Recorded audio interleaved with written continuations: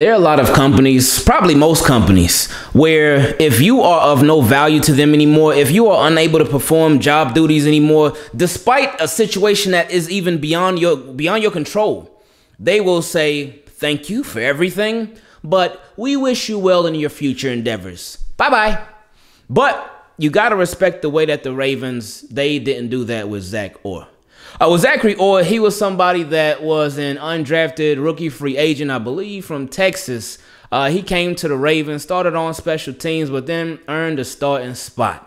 Um, and he came in 2014. Uh, shout out to Mike Macdonald. That's when he came in 2014 as an intern. So I guess they're getting all the band back together.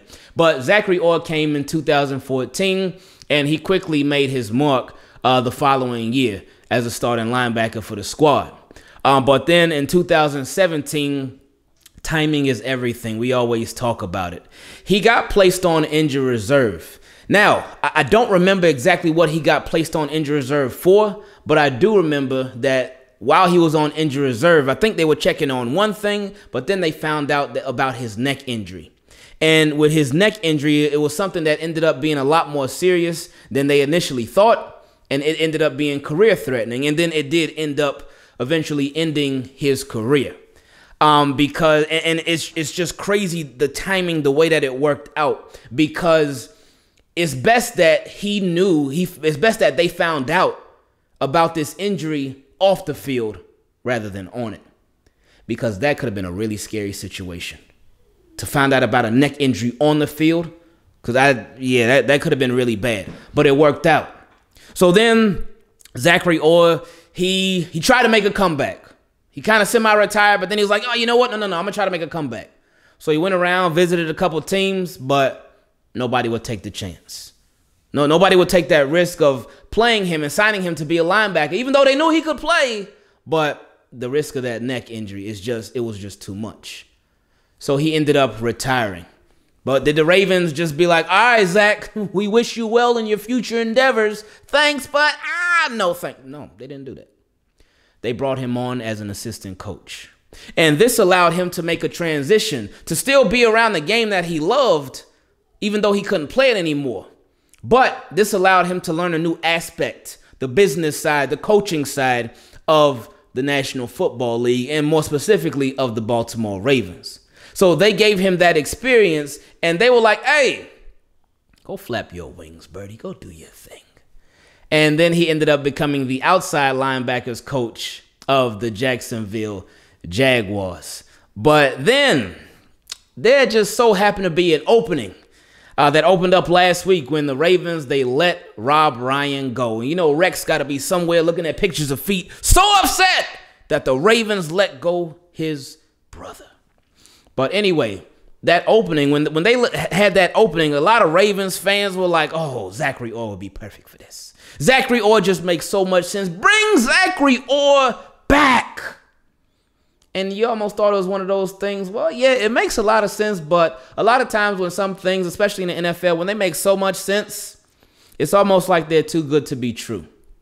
But not this time. This time, Zachary Orr is coming back after being off for a year, he's coming back to work with the Baltimore Ravens as their linebackers coach. Not outside linebackers, linebackers coach. So he gets a, a, nice little promotion. So I'm happy for him. I'm happy for him that he, he gets to he gets to return where it all started.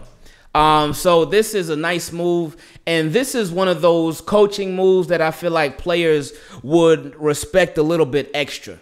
And the reason I feel like they would respect it a little bit extra is because it's somebody that one played in the league. I feel like coaching sometimes it can hit different when it comes from somebody that actually has that experience playing in the league. Number two, not every coach that played in the league was a good player. But with Zachary Orr, he was a good player. So this whatever he can teach to the linebackers, it can give them a point of view of somebody that had success in the NFL using his strategies, using different things that that allowed him to have success uh, when he played. And then on top of that, he does have some coaching experience now. And and see with this whole thing, you can think both short and long term. Because short term, yeah, you get to be a linebackers coach. But then in the future, whether it's with the Ravens or whether it's with somebody else, you'll get to actually be a defensive coordinator. And it could end up being one of those things where he takes that Mike Macdonald route, where he's in the league for a couple of years as a linebackers coach, and then he bounces over and goes to the collegiate ranks to be a defensive coordinator, or he could do it in the NFL. We've seen that happen plenty of times before too, where guys will be linebacker coaches, defensive back coaches, whatever coaches, and then they end up getting promoted to be a defensive coordinator in the league, whether it be with their current team or with another team. So if he does well with these linebackers, and you know, Ravens, they kind of got uh, an, an MO when it comes to their linebackers. And last year, that MO was just, it was off. It was way off. But if he can do his thing with the linebackers, that'll set him up for success in the future. And and to see the success of the linebackers, it will be clear as day from jump and obviously throughout the season. If he's doing a great job and they're taking everything that he's teaching them and they're executing as well, we'll be able to tell. Because last year, we could tell. And it was rough. It was really rough. I know right now, going into his third season, there is an immense amount of pressure on one Patrick Queen. Him going into his third season, a lot of people are looking at Patrick Queen like, all right, what's it going to be? What's it going to be? Because early on in the season, he struggled. And then they, they, they changed his responsibility a bit, moved him around a bit. And I was like, oh, okay, there we go. That's the Patrick Queen that we love. That's the one that we want to see. That's that potential. They drawing that potential out of him because we know he got it. But he just got to turn it on. But then toward the end of the season, it kind of got a little up and down. But the, the thing with Patrick Queen, we, we know it's there. We know it's there. You just got to bring it out just a bit more. Because you see, eh, nobody's asking him to be Ray Lewis. And, and that's something that's just so unfair to so many linebackers that have come after Ray Lewis because they're always, they're always gonna get, especially first round picks, they're always gonna get compared to Ray Lewis. It's, it's always gonna happen. It's not fair to them, but it's always gonna happen. And that's Ray Lewis's fault. Blame him for being so good at what he did as a linebacker. Because the first round picks after him was it was C.J. Mosley, and it was uh, Patrick Queen.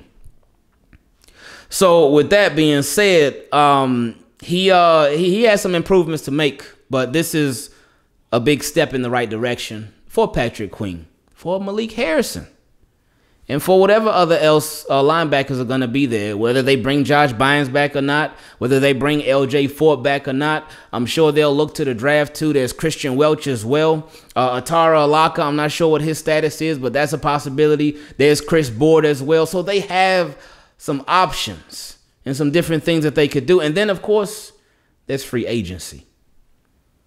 But the linebacking unit is it's a unit that – I feel ha- has not really gotten as much attention as it needs to have gotten because it but but it, it, it warrants attention because the Ravens definitely need to improve there. They need to take some steps forward there. Because linebacker for them this year overall as a whole as a unit, it was it was up and down. It was up and down. I would say it, it was inconsistent. They made some plays, they didn't make some plays, they missed some plays. It, it was a little bit all over the place. But again, you you know that potential is there.